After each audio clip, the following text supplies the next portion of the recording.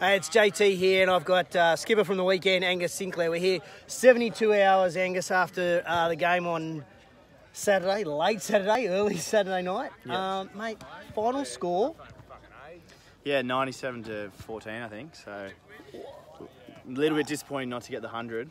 but, Josh um, Kay's fault. I, that's the, the word on the street. Josh Kay dropped it right at the end. Uh, he had a chance at intercept. Not sure he would have made the, uh, the, the 60. He might have been on the treadmill. Yeah, maybe. But it was an interesting game. 7 0, 7 all, 14 7, 14 all, 21, and then the floodgates open.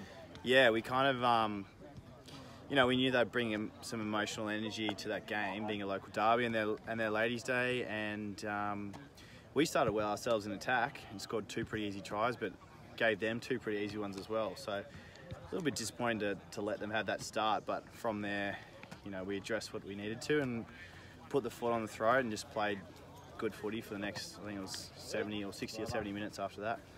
I've never played in a game where we've had so many points. Hmm. What's it like when you literally kick off and almost score straight away? How do you stay focused?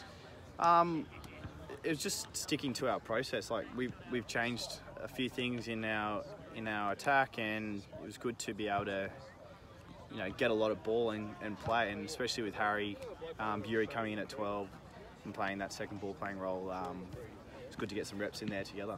So now that was a real difference I felt when I was watching, particularly our first 20 minutes, having the two ball players. Hmm. Is that an advantage at the moment? Oh, 100%.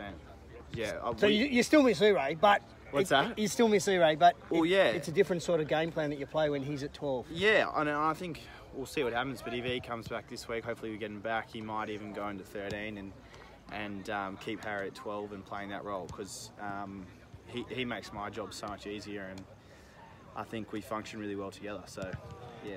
And like from your side of things, what about the forwards? What? How did they play?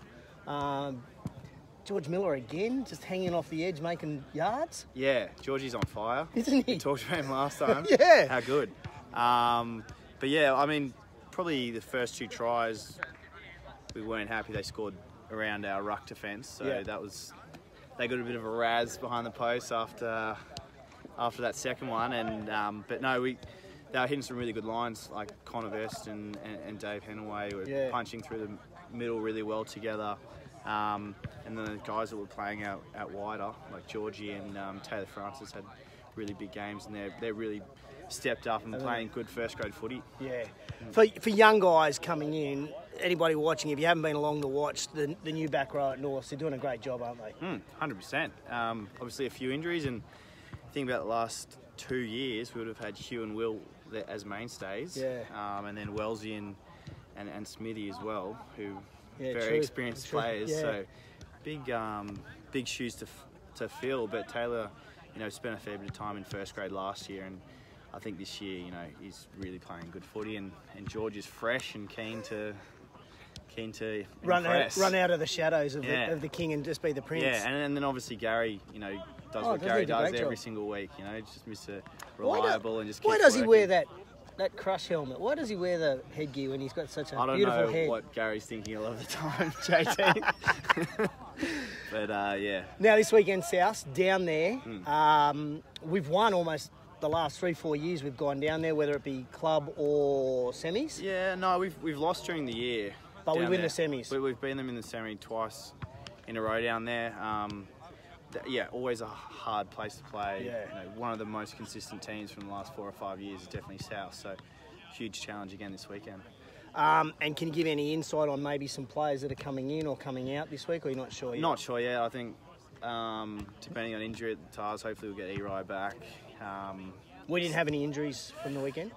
not that I'm aware of. No. Um, Callie's going back to, to Fiji for the June test, so he, he won't be around. So he's next- he's our big loose head prop. yeah, he won't be around for the next four weeks, but um, hopefully, hopefully, footy. Lawrence Hunting's back, Back, yeah. um, which straight away plugs that hole. Um, Yeah, great. Other than that, not sure yet. We'll find out more on Thursday. And when we score so many tries, there was a rumour that the water boy was taking it upon himself to give you kicking instructions. Is that true? Wolfie, uh, more just, more just giving me a spray every time I missed one. Was that a water spray or was that just a No, spray? like a verbal spray under his. He was under his breath the first couple. I, I, I heard it, so uh, yeah. fired back at him when I when I kicked one. I think. Well, I guess it's nice when you're that far in front not to worry too much. But Yeah. Wolfie, no more. Yeah, and a bit of heat on Wolfie. You know, the wingers are playing really good footy, aren't they? So it can Uh, well, be hard for him to get back into Angelo, that number four 14. tries? Yeah, exactly. In his in his number 14 jersey. So, um, yeah, oh, Wolfie might be back this week. I'm not sure. Find out. Awesome. Well, thanks, uh, Lockie, for coming. Uh, oh, I was about to say Lockie Cray.